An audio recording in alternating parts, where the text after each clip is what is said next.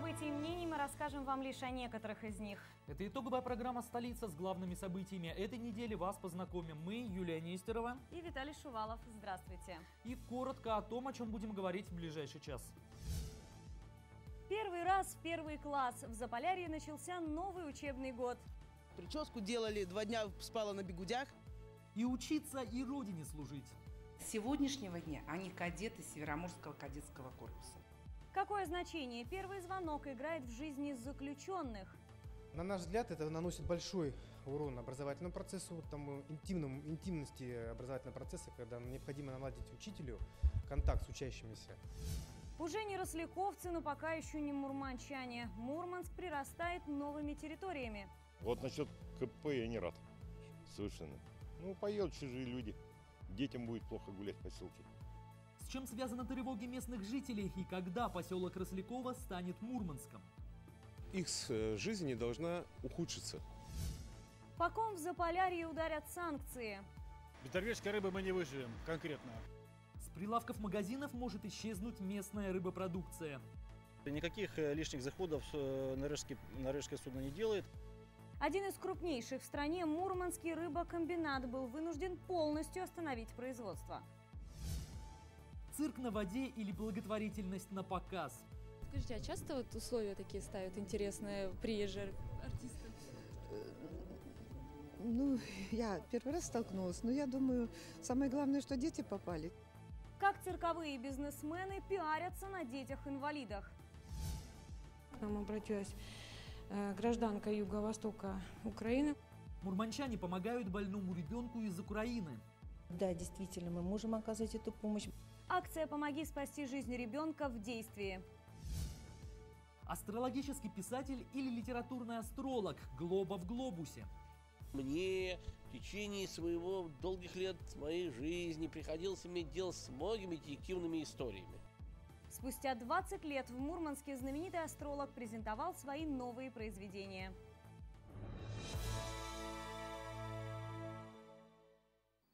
На этой неделе и в стране, и в Заполярье начался новый учебный год. В первый день осени в Мурманской области за парты сели почти 80 тысяч человек, а впервые звонок прозвенел для 8 тысяч первоклашек. Кстати, во времена Петра I в разных учебных заведениях учебный год начинался по-разному. Где в конце августа, где в середине сентября или октября. А сельские школы начинали работать только с 1 декабря. А в начале 30-х годов 20 века в законе было прописано лишь то, что все дети в возрасте от 8 до 10 лет должны были быть приняты в школы осенью. Единое начало учебных занятий 1 сентября ввели лишь в 35-м, а праздничным днем он начал читаться лишь с 1980-го, после соответствующего указа Президиума Верховного Совета СССР. В наши дни традиционно в этот день в школах проходят торжественные линейки, классные часы, уроки знаний и мира. В пятой гимназии 25 первоклассников впервые в своей жизни переступили школьный порог. Новые знакомства, первый учитель, первые оценки. Первая любовь, радость и разочарование. Все это у них еще впереди. А пока первоклашки волновались и принимали поздравления с первым учебным днем в жизни. Белые банты, новенькая форма, букет цветов для классного руководителя. Правда, как он выглядит, дети пока не знают. Фото на память и первоклашки с взволнованными мамами и папами переступают порог гимназии. Как любые родители по магазинам бегали, искали, то есть прическу делали, два дня спала на бегудях. Вот. Сегодня вот сделали бантики и пришли в школу. Если малышне все в диковинку, для старшеклассников 1 сентября событие привычное, хотя, признаются, и по-прежнему волнительное. Ученица 9 класса Милена о прошедших школьных годах вспоминает с теплом.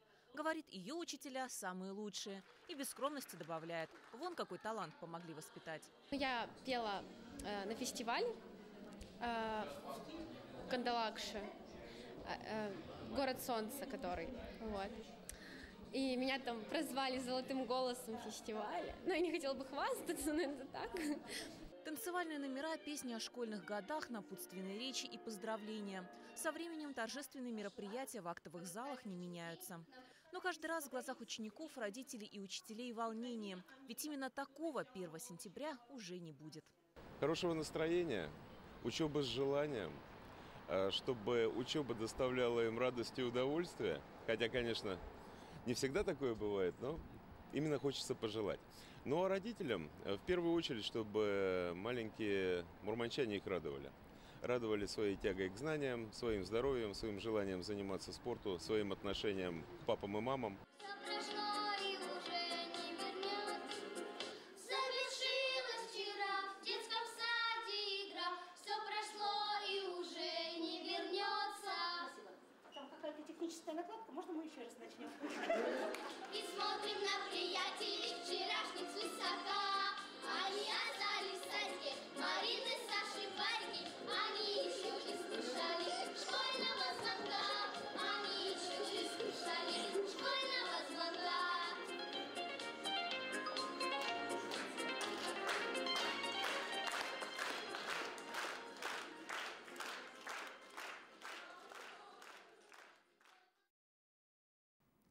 Североморске 1 сентября состоялось торжественное открытие нового кадетского корпуса. В пятый класс пошли 26 будущих моряков.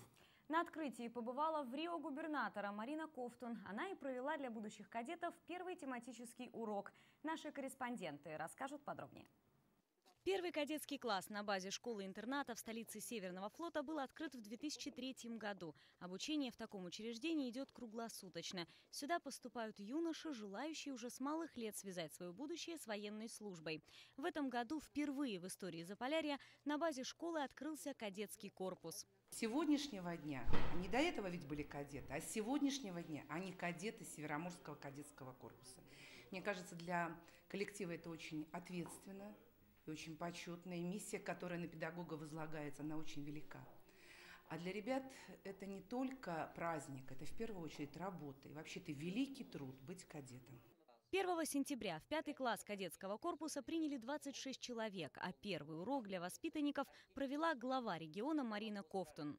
Хоть и маленький ребенок, но он принимает решение вместе с родителями посвятить свою жизнь служению Отечеству. Это одно из самых важных решений в его жизни, едва ли не самое важное. Ведь некоторые и в армии дослужить не хотят, а эти уже в 10 лет говорят, я буду служить Родине. И потом поступают на Химовские, в Суворовские училища. Конечно, мамы должны гордиться э, такими детьми. На торжественной линейке, поступившие в учреждение, мальчишки стояли еще в гражданской форме. Ведь посвящение в кадеты – первый рубеж, который им предстоит пройти, состоится в конце октября. А затем учеба и практические полевые занятия. На сборы в леса Заполярья школьники выезжают уже с шестого класса.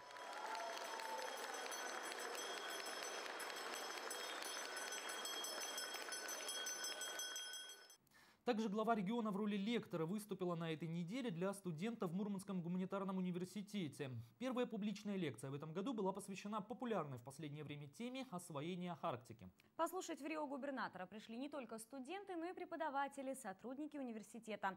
Актовый зал вуза был забит под завязку. Максим Галямин продолжит тему. Большинство студентов, присутствующих на публичной лекции в гуманитарном университете, видели главу региона только по телевизору или на страницах прессы. Так что возможность получить информацию из первых уст, а может быть задать и несколько вопросов, многие восприняли как хороший шанс. Очень интересно, да, послушать, как-то больше узнать из, как сказать, из первых уст, что ли. Не то, что там доходит когда-то потом, а вот когда человек, который действительно все это знает, говорит. Я хотела поговорить с вами об Арктике. Вы э, много раз слышали, читали, видели Мурманск ворота в Арктику, арктический форпост. Что это значит? Тему выступления Марина Ковтун выбрала одну из самых острых, и связана она с будущим региона, которая прежде всего зависит от грамотных и образованных специалистов, будь то инженеры или преподаватели. Арктика – вот то, на что будет опираться экономика области в ближайшее время. Впрочем, о запасах нефти, газа и ценных металлов на шельфе слышали многие. У нас замечательный был учитель географии Дмитрий Романович. Вот, это из села Краснощелье, он прям самый замечательный. Вот, так что, ну, по сути, интересно, но я почти все знаю там. Еще 2 мая наша область полностью вошла в состав арктической зоны, а это значит льготы для бюджетных служащих никуда не денутся. Стоит сказать и о том, что планы по добыче углеводородов не миф. Например, компания «Роснефть» уже проводит пробные бурения в Карском море. Но даже такие перспективы не всегда могут удержать будущих специалистов в Мурманске. 1 сентября в Мурманске отмечали не только как День знаний, но и как День сладкоежек. После всех торжественных линеек и поздравлений многие школьники вместе с родителями отправились на центральную площадь «Пять углов», где их ждал сладкий праздник. Туда приехал большой автобус с пломбиром. Кстати, мороженым угощали не только тех, кто принимал участие в многочисленных конкурсах, но и просто юных любителей сладкого лакомства. На сцене выступили детские танцевальные, творческие коллективы. Гости мероприятия поздравляли школьников с началом учебного года. Праздник продлился недолго, всего несколько часов, ведь на следующий день нужно было рано вставать снова в школу. В школу на этой неделе отправились не только юные северяне, но и взрослые мужчины. Это те, кто осужден и отбывает срок наказания за колючей проволокой. Наши корреспонденты побывали в 16-й исправительной колонии в поселке Мурмаши, где за парты сели 50 человек. Это исправительное учреждение особого режима. В нем отбывают наказание осужденные рецидивисты, как правило, с большим сроком. Какое значение в их жизни играет первый звонок и какие нововведения, которые ни по душе ни заключенным, ни учителям появились там с этого учебного года, расскажем далее. Хочу поздравить вас с началом нового 2014-2015 учебного года. На первый взгляд этот урок похож на тысячи подобных по всей стране. Праздничные шары, торжественные речи, галстуки у педагогов. Вот только ученики в этой школе имеют за плечами страшный опыт, который и привел их за колючую проволоку. Прежде всего, это работа со специфическим контингентом обучающихся. Во-первых, его отличают возрастные характеристики. То есть э, у нас обучающиеся в возрасте, ну в основном, от 21 до 25 лет, есть обучающиеся и старше. По закону мы обязаны обучать всех до 30 лет начиная с 18-летнего возраста.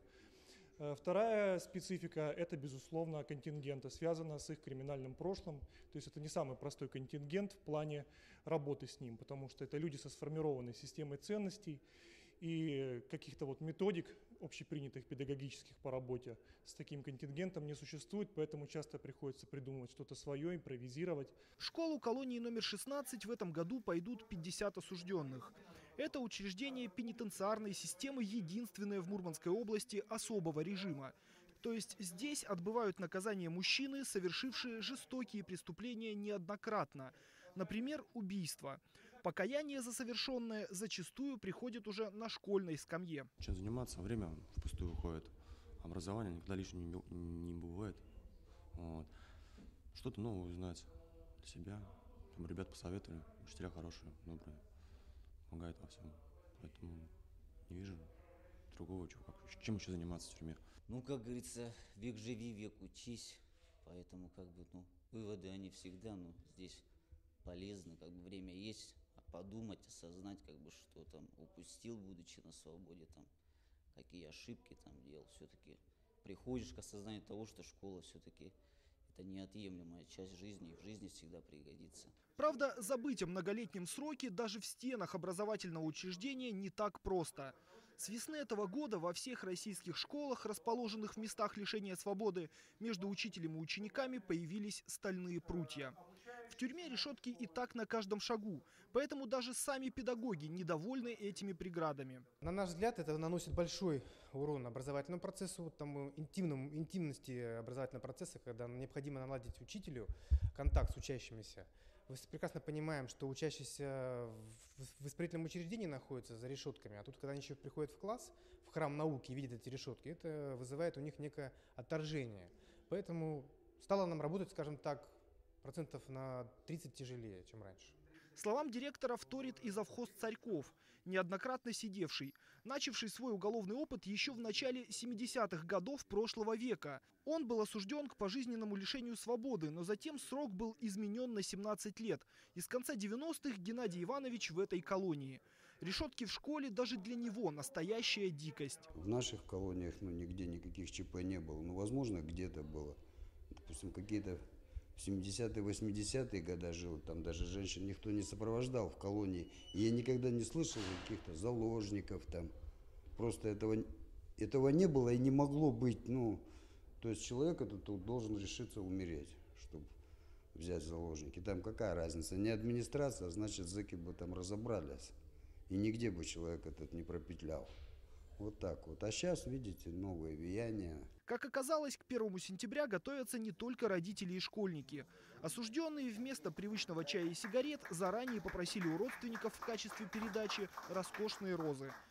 Для того, чтобы порадовать своих учителей, особенно женщин, которых видеть теперь они могут только через решетку.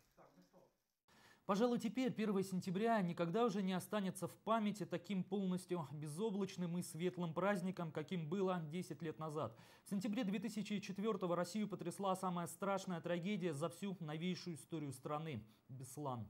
1 числа, прямо во время торжественной линейки, боевики захватили школу в Северной Осетии и два с половиной дня удерживали заложников. В результате погибли 334 человека. Среди них было более 150 детей. Мы все стали свидетелями неимоверного героизма и мужества многих людей. Учителей, которые ценой собственной жизни спасали учеников, спецназовцев Альфы, которые своими телами закрывали школьников, просто жителей Беслана. Вокруг всеобщего горя тогда сплотилась вся страна. Во многих городах люди выходили на улицы, в знак поддержки брались за руки. Живые цепочки растягивались на многие километры. За несколько месяцев после трагедии в помощь Беслану было собрано более 33 миллионов долларов. С тех пор 3 сентября в России – это День солидарности в борьбе с терроризмом. Спустя 10 лет в Мурманске у храма Спас на водах вспоминали те страшные дни. Молодежь запустила в небо 330 белоснежных воздушных шаров. Каждому из них был привязан бумажный голубь. На каждом имя и фамилия жертв террористической трагедии. По символичному сигналу, колокольному звону в храме пришедшие разжали ладони и отпустили нитки шаров. Одна из целей мероприятия – напомнить, что победить терроризм можно только вместе, объединив силы, веря в добро и светлые чувства. По окончанию мероприятия в храме Спас на водах состоялась поминальная служба. Человеческая свобода порой бывает направлена на боль и страдания. Дай Бог, чтобы те, кто не является равнодушными к существованию самого человека как образа и подобия Божия, не допускали таких моментов. В конце недели в результате пожара в жилом доме на улице Подстаницкого погиб один человек, еще трое пострадали. На место происшествия прибыли три пожарных расчета пожарной части номер 11. В результате происшествия одна из комнат выгорела полностью. На пожаре погиб один человек, еще трое пострадали. Причина пожара устанавливается. Информация о возгорании поступила на пульт оперативного дежурного в 10 часу вечера. Полыхала квартира на пятом этаже. По неофициальным данным, ее облюбовали люди без определенного места жительства. В настоящее время выясняется личность погибшей женщины, проводится доследственная проверка.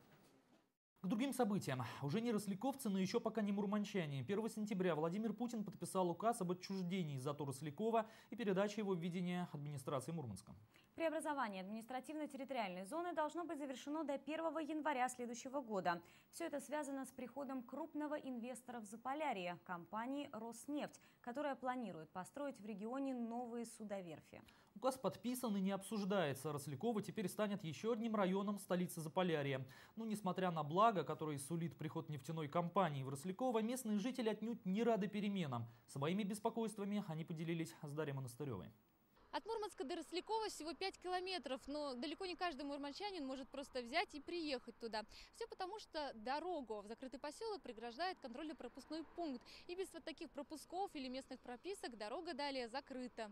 Но с 1 января 2015 года Рослякова станет частью города, и все меры безопасности уйдут в прошлое. КПП останется, но его перенесут ближе к Североморску. Пока не ясно, станет ли Рослякова частью Ленинского округа, либо он будет присоединен как самостоятельная территориальная единица.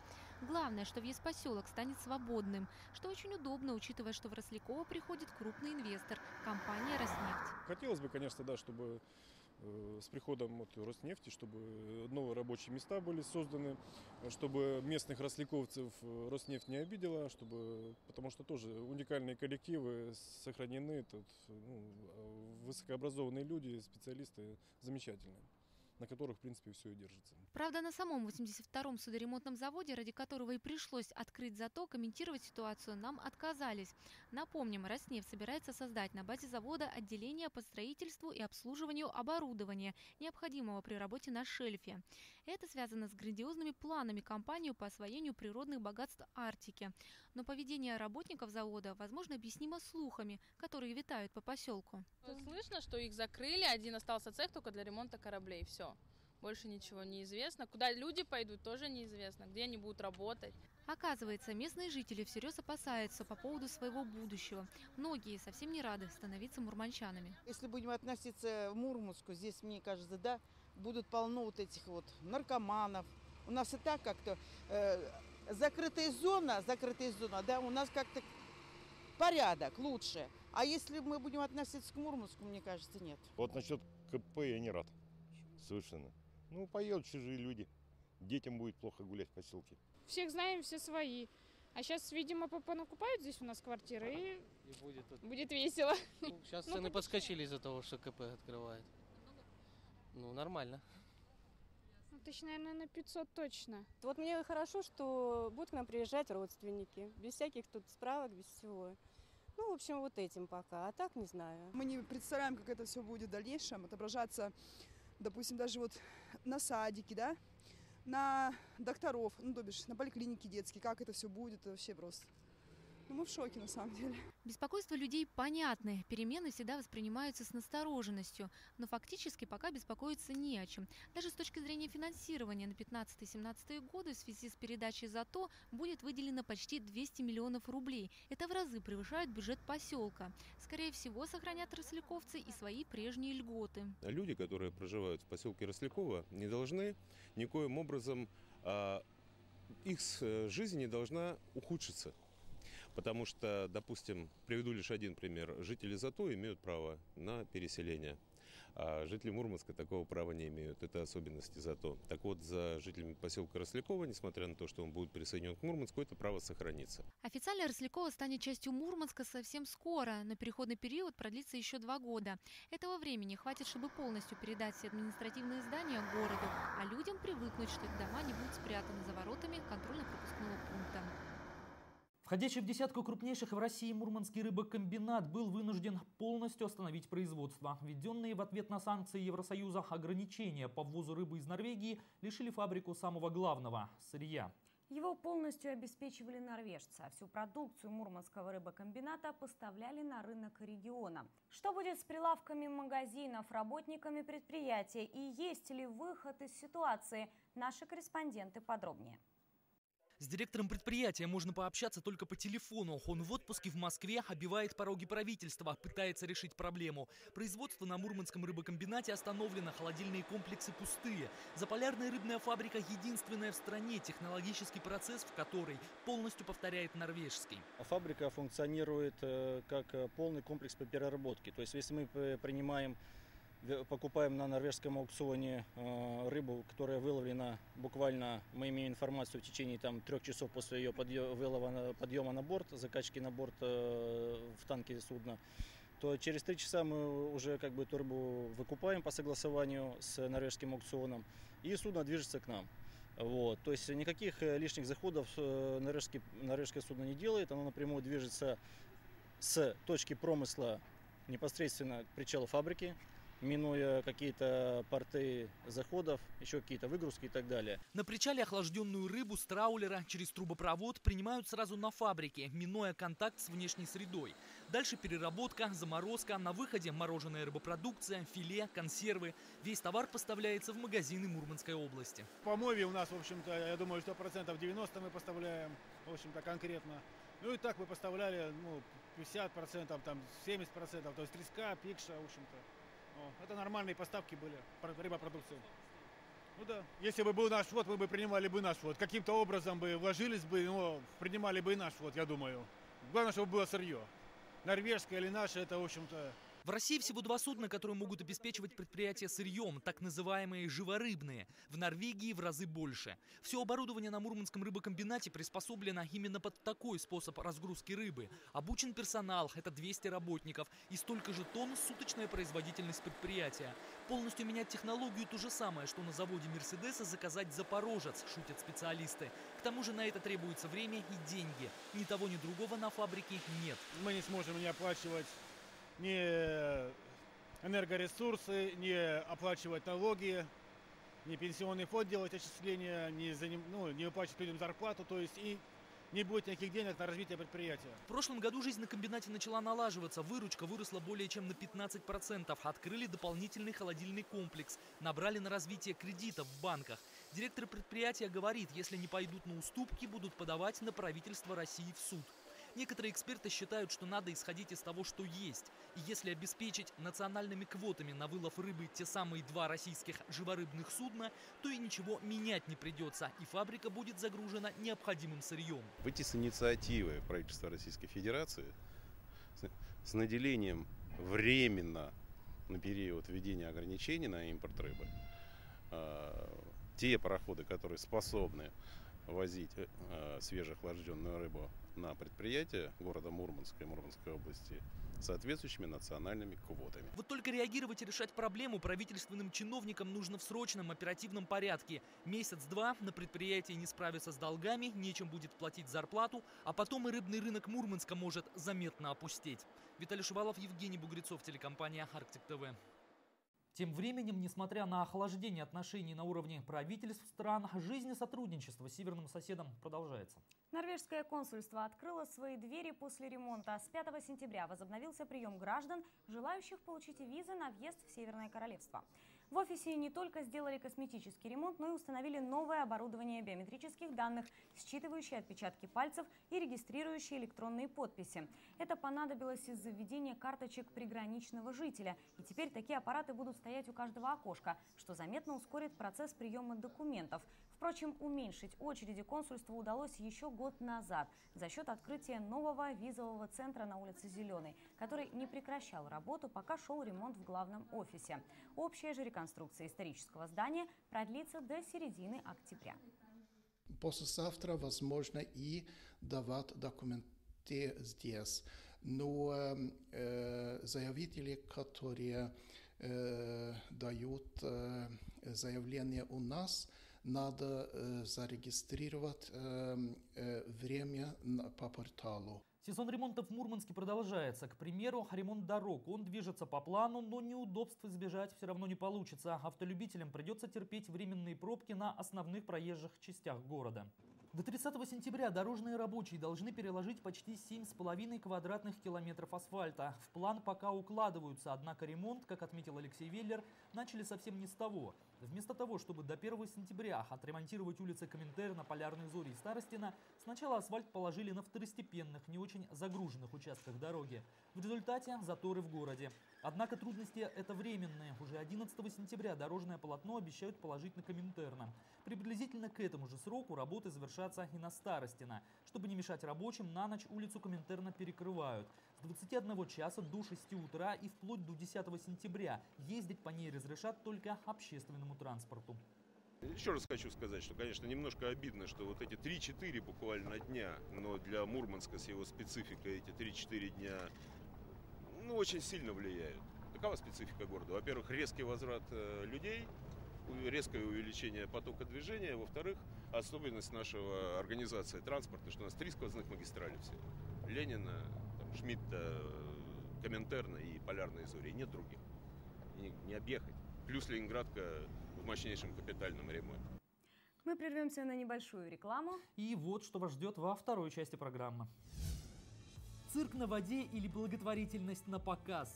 Скажите, а часто вот условия такие ставят интересные приезжие артисты? Ну, я первый раз столкнулась, но я думаю, самое главное, что дети попали. Как цирковые бизнесмены пиарятся на детях-инвалидах? К нам обратилась э, гражданка Юго-Востока Украины. Мурманчане помогают больному ребенку из Украины. Да, действительно, мы можем оказать эту помощь. Акция «Помоги спасти жизнь ребенка» в действии. Астрологический писатель или литературный астролог Глоба в глобусе. Мне в течение своего долгих лет моей жизни приходилось иметь дело с многими детективными историями. Спустя 20 лет в Мурманске знаменитый астролог презентовал свои новые произведения.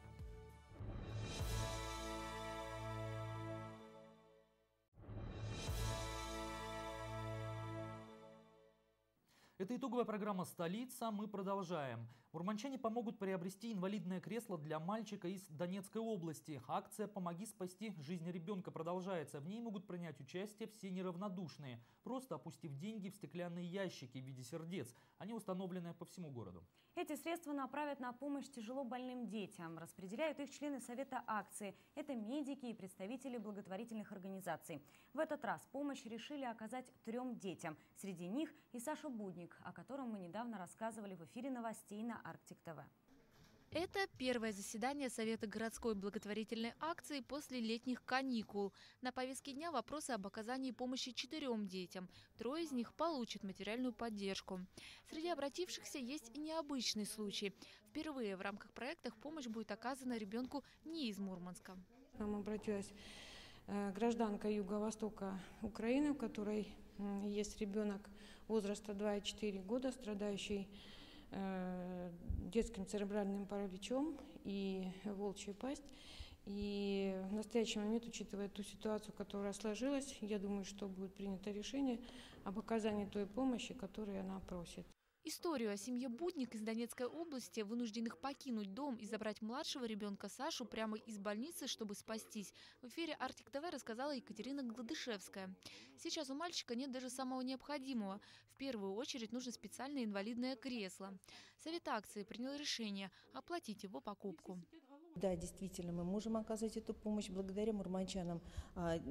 А, постоянно фонд пополняется, и мы можем оказать помощь детям-инвалидам, которые нуждаются в проведении последующих этапов э, а, оперативного лечения или на проезд э, к месту лечения. Кроме того, Саше Буднику предложат оказать хирургическую помощь. В ноябре снова приедут тульские врачи, специализирующиеся на детях с ДЦП. В этом году они провели операции десяткам маленьким пациентам из Мурманска и области. Пока одни безвозмездно жертвуют деньги на помощь другим людям, оказывают всяческую поддержку и не могут пройти мимо чужого горя, другие на этой самой благотворительности в прямом смысле пиарятся. В поле зрения наших корреспондентов на этой неделе попал приезжий из Ростова-на-Дону цирк на воде. Руководители цирка широким жестом отдали клубу родителей и детей инвалидов «Надежда» бесплатные билеты. Мол, пусть ребята порадуются. Вот только сделали они это с такой маленькой оговоркой, а точнее обязательным условием. Пусть широту души ростовчан по достоинству оценят мурманчане у экранов телевизоров. И пока наша съемочная группа не приехала, детей-инвалидов даже не пускали на представление. Говорят, худший из зол – это то, что добром прикидывается. Дарья Монастырева продолжит тему. До начала шоу 5 минут. Все зрители в зале, кроме ребят из клуба инвалидов «Надежда». Дети уже полчаса стоят на улице и с нетерпением ждут, когда их пустят на выступление клоунов и акробатов. Для них это праздник. Конечно. Ожидание чуда. До этого цирк там большая была благотворительная акция. Ну и вот сейчас нам выделили 20 билетов, но это благодаря вам, Артик ТВ. Валентина Михайловна – председатель крупнейшего в городе клуба с 20-летней историей, где собираются дети-инвалиды и их родители. Выглядит растерянной. Женщине неловко. Впервые за все время работы, чтобы ребята попали на мероприятие, ей пришлось просить журналистов, чтобы те рассказали о благотворительной деятельности гастролирующих артистов. Скажите, а часто вот условия такие ставят интересные приезжие артисты? Ну, я первый раз столкнулась, но я думаю, самое главное, что дети попали. Согласно толковому словарю, благотворительность – это оказание бескорыстной, безвозмездных и на льготных условиях помощи тем, кто в этом нуждается. В данном случае перед инвалидами поставили ультиматум, четкое условие. Шоу они увидят только если эту благотворительную акцию покажут по телевизору. Нам не жалко. В рамках проекта «Море доброты» наши журналисты сами нередко предлагают предпринимателям помочь нуждающимся героям программы за благодарность в эфире. Мы с радостью рассказываем о благородных людях и с удовольствием ставим их в пример. Но не о тех, кто наживается на благотворительности. Цирк на воде из Ростова-на-Дону тяжелобольных детей используют в целях самопиара. И, похоже, не впервые. привыкли, делаем всегда благотворительность. Чем же заключается благотворительная часть работы, которой так гордятся циркачи, мы так и не поняли. Должно быть, это еще один фокус от мастеров иллюзии.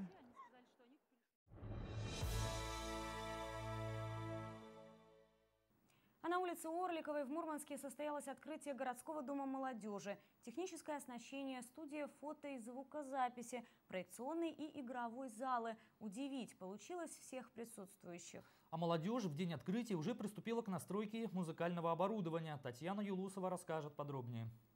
Красную ленточку перерезали под первые, еще не складные звуки электрогитар, доносящихся из окон Дома молодежи.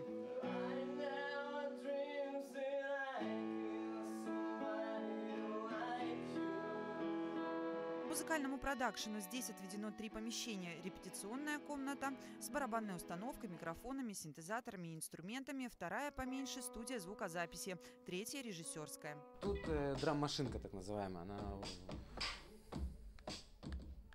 играется. Тут контроллер для самой программы, то есть он запускается, записывается, то есть это все дальше. Мониторы студийные, микшер на 16 каналов.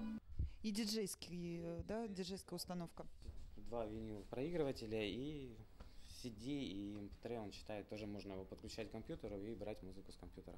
В помещении бывшего магазина за полгода была проведена полная перепланировка. Заменили вентиляцию, сантехнику и систему отопления. Как здесь было до, забывается уже через несколько минут. Я действительно считаю, что это прорыв. Реально, я надеюсь, что согласитесь, это абсолютно объективно. И вот давайте чуть-чуть посмотрим, понаблюдаем как будут развиваться события, если мы действительно увидим, что Дом молодежи заживет полноценной жизнью, если увидим, что он действительно востребован нашими молодыми мурманчанами, тогда мы понимаем, что ни в коем случае нельзя жалеть средства, и нужно вкладывать в такое переоборудование, расширять. А уже дальше при оформлении интерьера учитывались мнения молодежи. Комнаты выкрашены в ярко-желтый, голубой, оранжевый и малиновый цвета. Последняя комната, к слову, фотостудия, техническую начинку которой оценили и операторы телевизионных съемочных групп. Дорогая, а, открываешь маленькую коробочку, смотришь, 45 тысяч рублей. Актовый зал на 75 мест, универсальная площадка. По пятницам здесь будут киносеансы, в другие дни диджейские мастер-классы, фитнес-курсы и школа этикета для девушек. Людей это, естественно, у нас уличные флешмобы, театральные перформансы. Ну, так, небольшой секрет расскажем, то, что есть уже договоренность сотрудничать с рок-фестивалем из города Альта.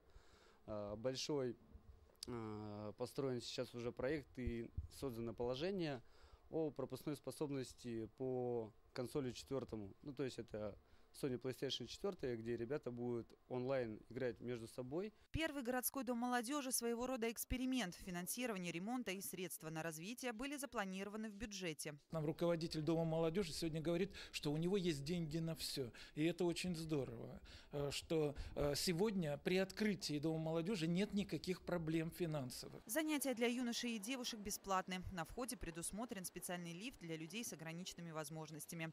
Если проект будет пользоваться популярностью, популярностью, то в скором времени на том же уровне будут оснащены и другие молодежные городские центры.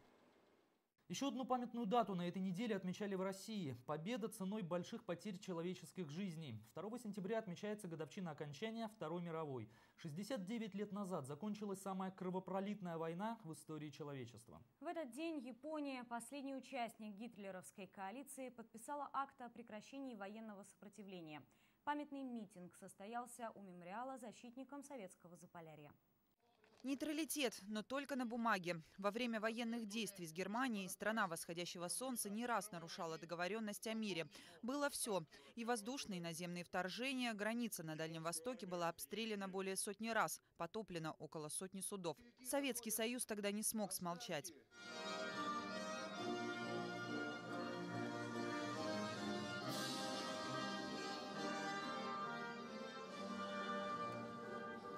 69 лет назад Япония, последний союзник гитлеровской Германии, подписала акт о капитуляции. В российском календаре по указу президента с 2010 года эта дата официально стала памятным днем.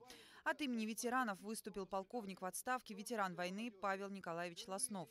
Кроме того, Создавая напряженную обстановку, они вынуждали нас держать на Дальнем Востоке около 40 дивизий, в то время, когда эти дивизии значительно ускорили бы победу над, над фашистской Германией. У памятника защитникам советского Заполярья собрались представители ветеранских общественных организаций, правительства, школьники и студенты. Почтили павших возложением цветов к вечному огню и минутой молчания.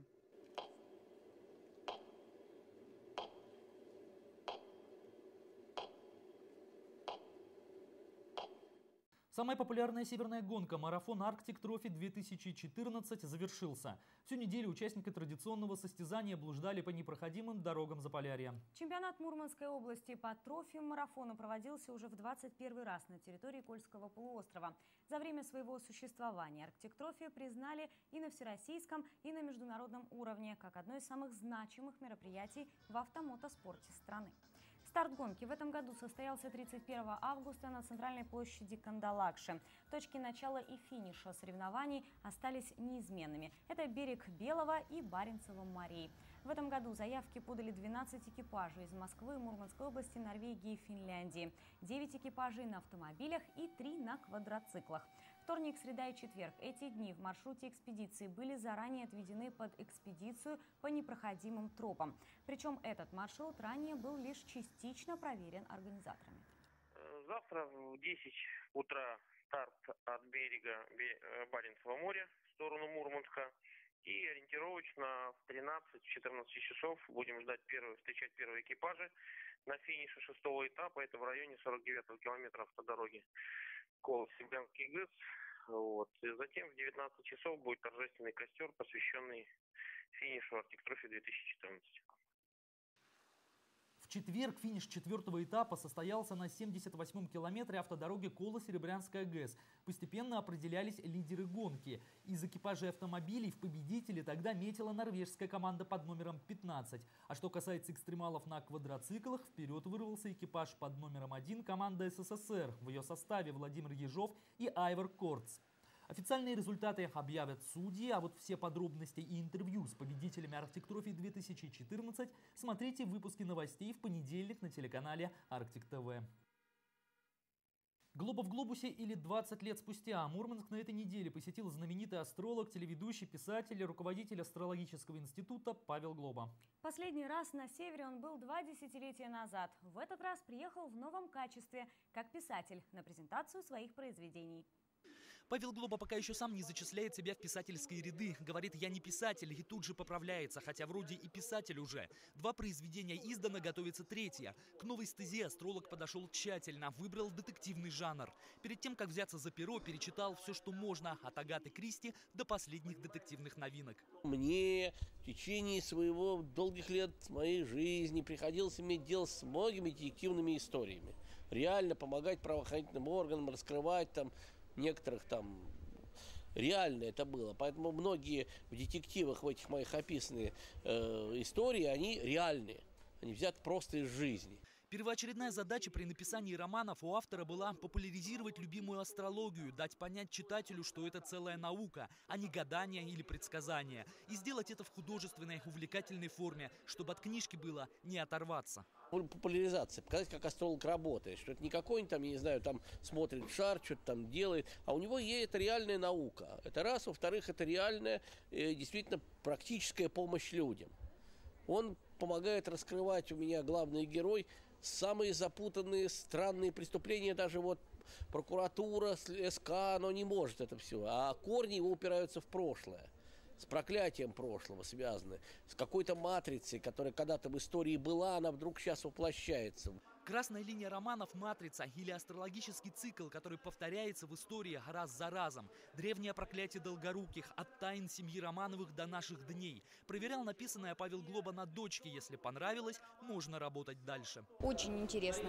Интересно, ну вот этот экскурс в историю, который он сделал, очень такой содержательный, интересный. Я историю люблю. Но вот очень многих факты, которые он рассказывал, вот как-то да, не приходили, не попадались мне на глаза, не... очень интересно. Я вчера, к своему стыду, наверное, только вчера узнала, что он, оказывается, пишет книги, вот, и э, узнала, что будет вот презентация новой книги, поэтому приехала посмотреть, послушать. Вот так понимаю, что вторую книжку сейчас можно будет здесь приобрести, но буду теперь искать и первую, которую не прочитала в свое время. Павел Глоба всегда мне был интересен. Я еще знала его как астролога, правда, личных встреч не было, но тогда было интересно, это было 90-е годы. А сейчас, сейчас он стал более интересным. В Заполярье астролог не был 20 лет. Тем не менее, до 94 года в Мурманске у него была своя астрологическая школа, 700 учеников. Многие из них продолжили заниматься этой наукой и дальше. А приобрести новые произведения Павла Глобы можно в книжных магазинах «Глобус». Один из старейших мурманских живописцев Арви Хуттунин подарил художественному музею целую выставку своих картин. Большинство работ автора составляют пейзажи любимого им севера. О том, почему Мэтр решил расстаться со своими картинами, причем в последний день выставки, о человеке, который всю сознательную жизнь расписывал белоснежную Арктику яркими красками, расскажет Максим Галямин. Арви Иванович Хуттунин вместе с супругой, тоже известной мурманской художницей Тамарой Зуевой, обходит выставку. Таких по всей России и за рубежом было больше сотни. Один из старейших мурманских живописцев до сих пор приходит в восторг от северной природы и даже сходу называет любимую картину «Сам Скайноида». Впрочем, к своим работам, как кажется, он совсем не привязан. Решил, что сохранится хорошо. Самое главное, конечно. И пусть смотрит, если нравится кому.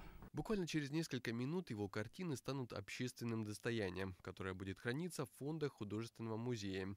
Арви Ивановичу в августе этого года исполнилось 92, но почтенный возраст никак не сказался на стремлении к творчеству. На вопрос, не жалко ли расставаться с работами, Арви Хутенен отвечает просто «рисую еще». Дарит, конечно, э, довольно часто, и все художники, которые проводят выставки здесь у нас, но когда дарят полностью выставку, то, конечно, это бывает крайне редко. И безусловно, это для нас очень большая удача а, получить э, картины очень известного художника, любимого художника. Причем это разные периоды э, его творчества. Такими яркими красками Арктику еще никто не описывал. Особенно автору удается северное солнце. То ли искусственное освещение так падает на картины, то ли это необычное сочетание теплых оттенков. Но закаты, написанные Арви Ивановичем, без привлечения светятся, как настоящие. На самом деле, мне больше всего понравилось именно э, небо. Во всех картинах как бы оно есть, оно присутствует. Это именно его яркость, его сочность как раз-таки привлекла. К сожалению, увидеть картины художника в ближайшее время не получится. Сегодня последний день выставки и торжественное закрытие. После чего работы займут свои почетные места в хранилищах музея. Но это вовсе не значит, что они будут скрыты от посетителей навсегда. И снова о школе. Первый раз в шестой класс в клубе «Ледокол» отеля Парк Рэдисон «Полярные зори» на этой неделе состоялось открытие уже шестого по счету сезона «Джаз-блюз-кафе». За все годы существования проект полюбился многим мурманчанам. Живая музыка, уютная атмосфера, молодые музыканты и опытные команды, джем и глинтвейн. Первую встречу в сезоне посвятили школьной тематике. Хотя ни сменки, ни дневников на входе никто не спрашивал, но оценки музыкантам все же ставили. Определяли их аплодисментами. Ни двоечников, ни троечников на сцене ледокола не было. Команда «Шемрак», хорошо известная мурманчанам, свой школьный порог давно переступила и сами уже не помнят, сколько раз играли в джаз-блюз-кафе. К дресс-коду они отнеслись по-своему. За 11 лет существования впервые вышли на публику в килтах. Здесь всегда э, все по-домашнему проходит. Это помещение такое, как все такое все в кучке, такие все рядышком. Как-то по-домашнему, так очень по-доброму. Вот. Хотя и скачки мы тоже устраивали, да, то есть публика порой были такие тут скачки, что Сами на колонки залезали. Да, и сами тут скакали вместе с публикой в зале. Были, были такие случаи. Сергей долгое время преподает музыку в педагогическом колледже. Говорит, бывает, студенты потом поступают в колледж искусств. И затем уже они встречаются с бывшим преподавателем на концертной площадке. Как без этого? Надо приходить, надо играть. Музыкант без площадки, без сцены никуда не, не может никак. Э, так просто, ну где можно поиграть? Наверное, только здесь.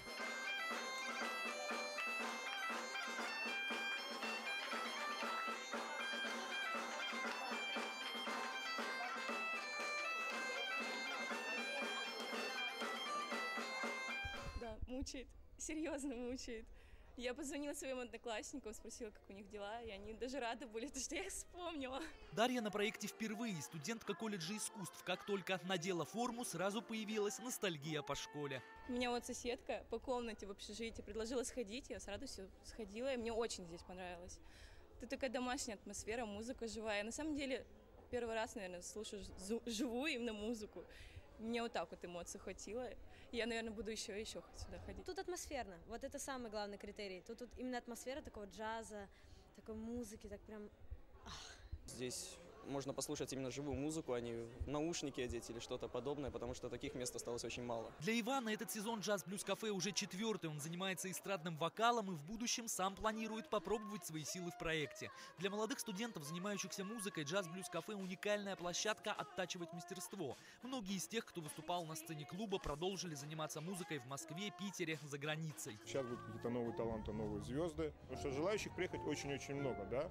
Я смотрю, как бы со всей стороны реально стучатся, как бы просятся приехать. Я пишу, ребята, мы как бы не занимаемся перевозом, потому что нету на это средств. Я очень надеюсь, я скрещиваю пальцы, держу, что в этом сезоне нам удастся с технической стороны зайти на обеспечение джаз-брус-кафе и сделать его все-таки на ступеньку повыше. Я надеюсь, что сложится. Благо, что есть люди, которые оказать партнерскую помощь. Я надеюсь, они меня слышат. Джаз Блюз Кафе было и остается некоммерческим, а потому для всех, кто готов помочь и посодействовать проекту, двери клуба открыты. Как и для всех любителей живой музыки. Как всегда, по средам с 7 часов. Виталий Швалов, Родион Нестеров, телекомпания «Арктик ТВ».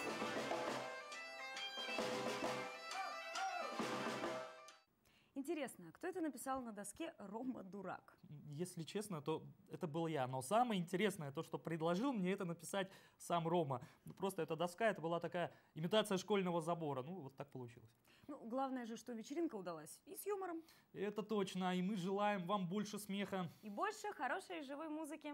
У нас на этом все. Такую увидели эту неделю наши корреспонденты. А мы прощаемся с вами. Всего доброго и до встречи.